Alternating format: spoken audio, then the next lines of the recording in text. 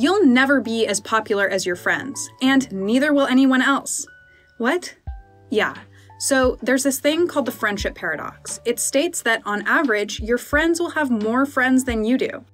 In this paper, the authors are asking not whether the paradox exists, but when it kicks in.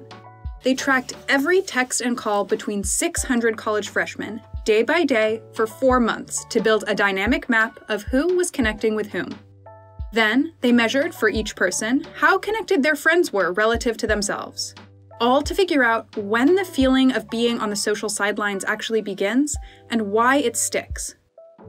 On today's episode of Journal Club, we start by explaining how the friendship paradox works and how it could be true that you really are less popular than your friends. Then, we'll walk through how the authors built this dynamic network, how they filtered out dead ties, and why early interactions can create a permanent skew that shapes your place in the social graph. If you're already subscribed to our email newsletter, then you'll be getting the full episode in text and audio form delivered to your inbox in the next few hours. Journal Club, the latest academic research explained in plain English.